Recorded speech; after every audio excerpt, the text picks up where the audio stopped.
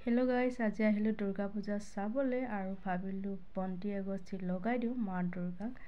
আৰু এতিয়া ধুনীয়াকৈ ভাইটিয়ে চাকিকেইটা কিনি ল'লে আৰু এতিয়া আমি ভিতৰলৈ ধুনীয়াকৈ সোমাই যাম। এতিয়া ধুনীয়াকৈ এয়া চাকি জ্বলাবলৈ লৈছোঁ আৰু ইফালে ভাইটিয়ে জ্বলাই আছে। আৰু ইফালে দুৰ্গা মা হে মা শক্তি দিয়ে যেন আৰু আপুনি দেই। আমাৰ ইয়াতে কেইবাখনো দুৰ্গা পূজা হয় তো আমি এইখনত আকৌ আহি গ'লোঁ। সেইফালে চাওকচোন ইমান ধুনীয়াকৈ সজাইছে মানে বিৰাট ধুনীয়া লাগিছে। সেইফালে সোমাব পৰাকৈ ওলাব পৰাকৈ ধুনীয়া ৰাস্তা বনাই দিছে। বাহিৰৰ পৰাই যে ইমান ধুনীয়া লাগিছে ভিতৰত সোমাই গ'লে যেন আৰু ভাল লাগিব তো সেনেকুৱা লাগি গৈছে মানে। এইফালে চাওকচোন বহুত ধুনীয়া লাগিছে কিন্তু দেই। এবাৰ মানে বেলেগ ষ্টাইলত সজাই দিছে কিন্তু দেই এয়া চাওকচোন বহুত ধুনীয়া হয় মানে।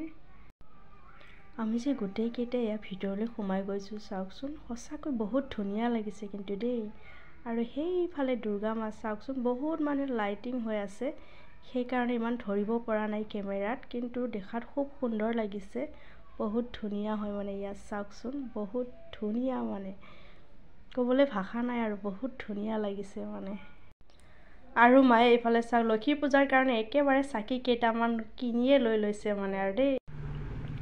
ভাইটিও লক্ষী পূজালৈ বুলি একেবাৰে নাৰিকল কেইটা কিনি লৈ লৈছে আৰু আজিৰ ভিডিঅ'টো ইমানেই আছিল বাই বাই।